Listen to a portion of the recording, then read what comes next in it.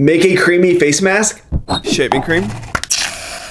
Olaplex conditioner. CeraVe cleanser. CeraVe lotion. Is that creamy enough?